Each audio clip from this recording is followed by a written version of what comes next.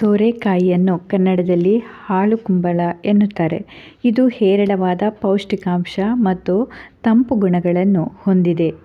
ನಾರಿನಾಂಶ, ಖನಿಜಾಂಶ, carbohydrate, calcium, potassium, phosphorus, ಕಬ್ಬಿಣಾಂಶ, ಸೋಡಿಯಂ, ವಿಟಮಿನ್ ಸಿ, ಬಿ ಇತ್ಯಾದಿ ಹಲವಾರು ಉತ್ತಮ ಅಂಶಗಳನ್ನು ಸೋರೆಕಾಯಿಯು ಒಳಗೊಂಡಿದೆ.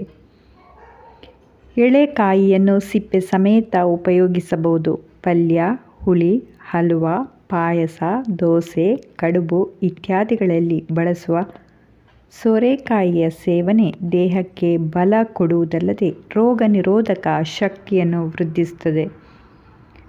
ಸೋರೆಕಾಯಿ ಬಳ್ಳಿಯ ಬೇರು, ಎಲೆ, ಚಿಗುರು, ಬೀಜ ಎಲ್ಲವೂ ಔಷಧೀಯ ಗುಣಗಳನ್ನು ಹೊಂದಿದ್ದು ಹಲವಾರು ರೀತಿಯಲ್ಲಿ ಆರೋಗ್ಯಕ್ಕೆ ಪೂರಕವಾಗಿದೆ.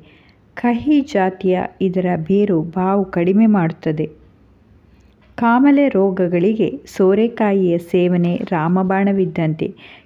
ಮಧುಮೇಹ, ಮೂತ್ರಜನಕಾಂಗದ ಗರ್ಭಕೋಶದ ಹಲವು ಸಮಸ್ಯೆಗಳಿಗೆ ಕೊಲೆಸ್ಟ್ರಾಲ್ ನಿವಾರಕವಾಗಿ ಮಲಬದ್ಧತೆ, ಹೊಟ್ಟೆ, ಹುಣ್ಣು ಹಾಗೂ ನೋವನ್ನು ಶಮನಗೊಳಿಸುತ್ತದೆ.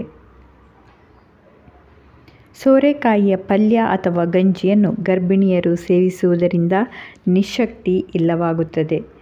ಹೃದಯದ ಸಮಸ್ಯೆ ಅಥವಾ ಬಹುಮುಖ್ಯವಾಗಿ ಕೊಲೆಸ್ಟ್ರಾಲ್ ತೊಂದರೆಯಿಂದಾಗಿ ಇದನ್ನು ರುಬ್ಬಿ ಜ್ಯೂಸ್ ಮಾಡಿ ಬೆಳಿಗ್ಗೆ ಖಾಲಿ ಹೊಟ್ಟೆಗೆ ಸೇವಿಸಲು ವೈದ್ಯರು ಸಲಹೆ ನೀಡುತ್ತಾರೆ.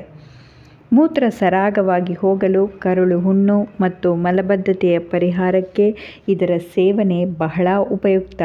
ಸಣ್ಣಗೆ ಹಚ್ಚಿಕೊಂಡ ಸೋರೆಕಾಯಿಗೆ ಟೊಮ್ಯಾಟೊ, ಮೊಳಕೆಕಾಳು, ತೆಂಗಿನ ತುರಿ ಸೇರಿಸಿ, ಕರಿಬೇವು ಸೇರಿಸಿ, ಒಗ್ಗರಣೆ ಸಿಡಿಸಿ ತಯಾರಿಸಿದ ಸಲಾಡ್ ಸೇವನೆಯಿಂದ ಮಧುಮೇಹದವರಿಗೆ, ರಕ್ತದೊತ್ತಡ ಇದ್ದವರಿಗೆ ಸಹಕಾರಿ.